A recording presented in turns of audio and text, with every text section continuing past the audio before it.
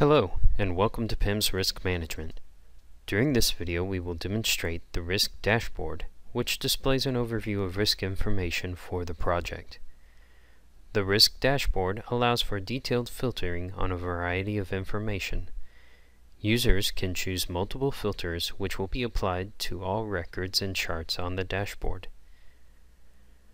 The risk list will show all risk and opportunity items that meet the filter applied to the page and includes basic information about each item, such as the risk owner and how that risk affects the project's overall risk health.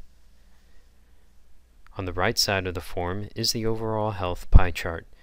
This shows the health split for all risk items in the filter that have been marked as affecting the overall health. Each risk is assigned to an owner and may have many actions tied to it. Users can see a list of the risk owners, which shows how many risks they own and how many open and overdue actions that user currently has. The risk heat map displays the filtered risks and their numeric distribution for each block on the risk matrix. Finally, users can see the total of actions for the filtered risk items, how many of them are open, and how many of them have been recently logged and are considered new actions.